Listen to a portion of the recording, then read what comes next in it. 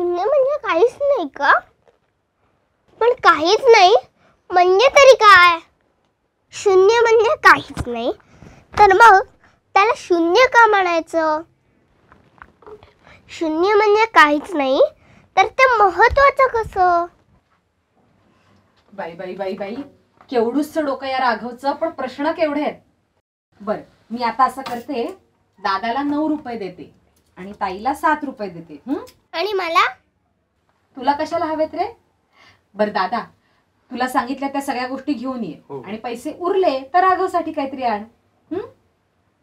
मला आता सांग दादाला किती दिले आणि ताईला किती दिले?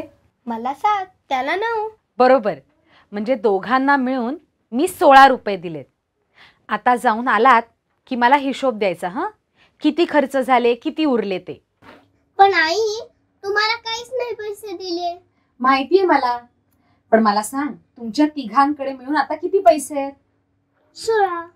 बरोबर. हे बघ राघव आम्हा दोघांकडे असलेले पैसे आणि आपल्या तिघांकडे मिळून असलेले पैसे सारखेच आहेत का? विचार कर बरं जरा. पण माझ्याकडे काहीच नाहीये ना.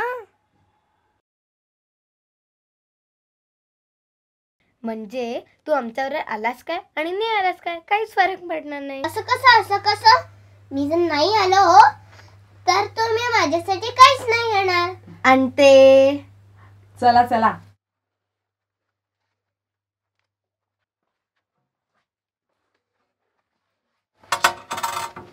दादा तुझ्याकडे आता किती पैसे आहेत? दोन रुपये.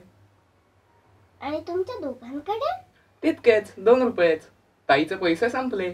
ताई तुझ्याकडे काहीच पैसे नाही उरले? नाही. म्हणजे आपलं सारखंच की? माझ्याकडे काही पैसे नाही तुझ्याकडे काही पैसे नाही. दादाकडे दोन रुपये म्हणजे आपल्या तिघांच्या दोन रुपये. बरोबर ना? हो बरोबर. पण राघव महाशय आपलं काही सारखं नाहीये. जाताना माझ्याकडे पैसे होते येताना नव्हते कारण का ते खर्च झाले.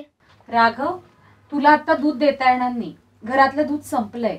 म्हणजे काहीच नाही राहिलं. सगळं संपलं. परत आणावं लागेल. बरोबर.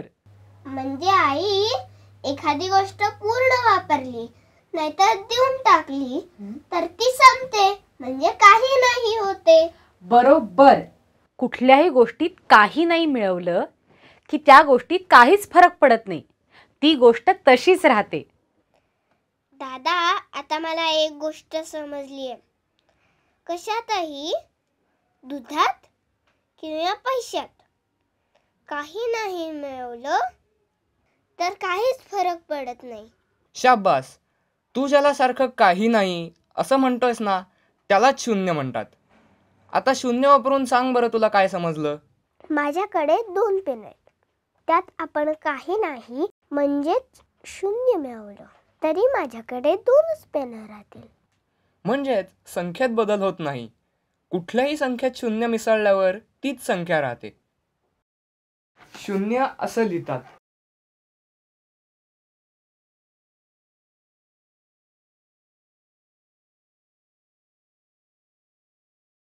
आणि दादा जे काय आहे ते सर्व दिले किंवा वापरले तर काही नाही उरते म्हणजे शून्य राहते. अरे वा राघव हे काही नाही म्हणजे शून्य हे तुला कळलं ना? हो आता छान समजलं. आपण काय शिकलो? काहीही नाही म्हणजे शून्य. शून्य असे लिहितात.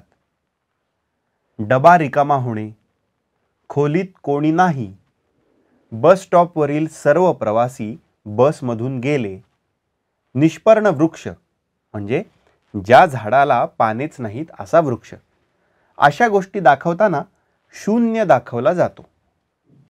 करून तर पहा.